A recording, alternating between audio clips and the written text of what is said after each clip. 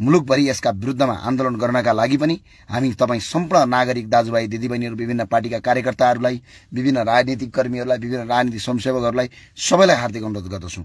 र मुलुक गर्ने यतिखेर यसलाई तपाईँको जसरी पनि कुनै पनि हालतमा तपाईँको कुनै पनि हालतमा यसलाई रोक्नुपर्छ। यसलाई नरोक्दासम्म यो राष्ट्रघाती एमसिसी यदि नरोक्दासम्म यो मुलुक बन्दैन र यो राष्ट्र बन्दैन यो अहिले राष्ट्र बचाउने कुरा हो र एकजना भन्छ र झोले भनेको के हो भनेपछि नेताले जे गलत गर्दाखेरि पनि त्यसलाई सही मान्ने हिँड्नलाई झोले भन्छन्। नेताहरूले गलत गरे पनि त्यसको खबरदारी गर्न सक्नेलाई झोले भन्दैनन्। मित्रहरू हो त्यो भएर अलिकति बुझेर लेख्नु होला बुझेर कमेन्ट गर्नु होला र मुलुक परिवर्तन गर्ने भनेको ब्यालेटले हो बुलेटले होइन।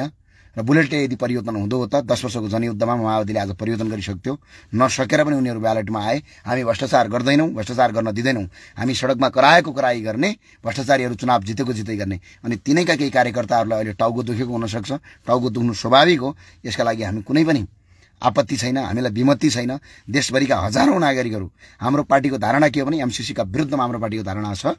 र यसका लागि हिजो हामीले पहिला आन्दोलन पनि गरिसकेका छौँ र आज पार्टीको आधिकारिक तपाईँको सदनमा पनि माननीय सांसद राजेन्द्र लिङ्गदेलज्यूले पनि एमसिसीका विरुद्धमा आवाज बोल्नुहुनेछ र आफ्नो मत राख्नुहुनेछ प्रस्ताव गर्नुहुनेछ र यसलाई जसरी पनि तपाईँको आइसके पछाडि यो रोक्नुपर्छ यसलाई नरोकिकन अगाडि बढ्दैन। अहिले हामीले तिम्रो पार्टी तपाईँको पार्टी हाम्रो पार्टी मेरो पार्टी गर्ने समय होइन।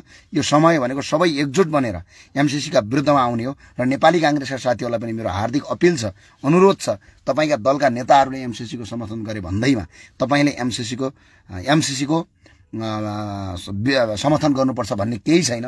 दलका नेताहरूले समर्थन गरे तर तपाईँ सच्चा राष्ट्रवादी कार्यकर्ताहरू हुनुहुन्छ।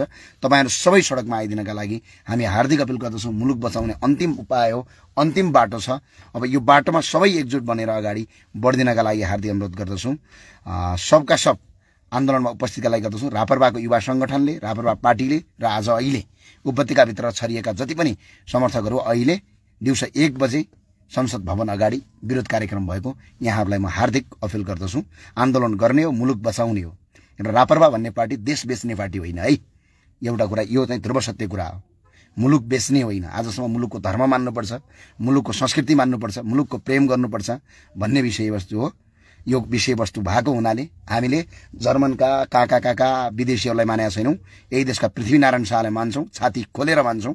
मुलुक चलाउनका लागि यो देशको धर्म चाहिन्छ यो देशमा परम्परा चाहिन्छ यही देशको राष्ट्रवाद चाहिन्छ यही देशको नाता चाहिन्छ र विदेशीहरू भनेको विदेशीवाद माग्ने नेपाली राष्ट्रवादी कहिल्यै पनि हुन सक्दैन। यो संसारभरि काहीँ पनि छैन।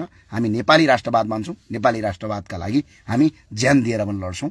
र यसमा सबै देशभरिका शुभचिन्तकहरूलाई सबैलाई म भन्न चाहन्छु भ्रष्टाचारी देशद्रोहीहरू जहिले पनि तपाईँको हामी सडकमा कराएको कराई गर्ने आज देख्नु भने एमसिसी यदि तपाईँको राष्ट्रवादी साथीहरू सदनमा पुग्दा भइदिया भए सदनमा यदि पुग पुगिदिएको भइदिया भइदिया भए आज एमसिसी पुराका पुरा रोकिसक्थ्यो। पुरैका पुरा रोकिसक्थ्यो तर एमसिसी सदनमा गएको छ। सदनमा जाने कसले लगर्यो।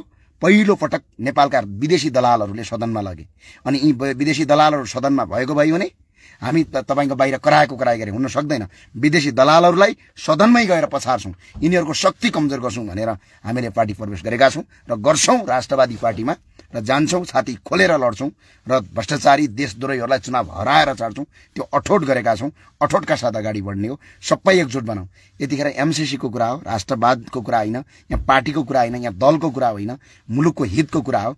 र आज यो मुलुक यो धराशयीमा पुग्नाको पछाडिको कारण पनि के हो भने पार्टीका दलका नेताहरूले कुनै पनि हालतमा देशलाई पटक पटक बेच्न खोजे। पटक पटक बेचे।